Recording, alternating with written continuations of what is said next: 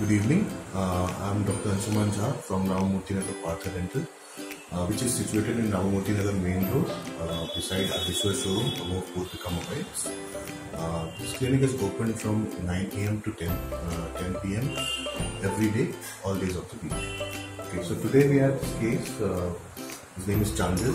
Um, today we have uh, given him a zirconia crown.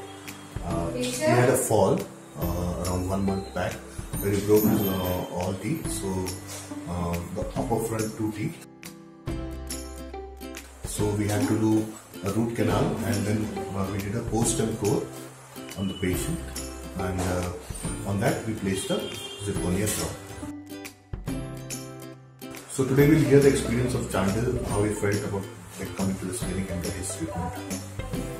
Hi, uh, myself Chandru. Uh, so I'm from Estate Rosewood. So uh, it was like uh, by accident I fell from the bed and I lost my two teeth in the front. So after that I had been to some other clinics as well. So where I did not like the way they conveyed the message to me and I did not like the interaction. So after that I had uh, one of my friends suggested me to go to Partha Dental Clinic. So I have come here along with my friend.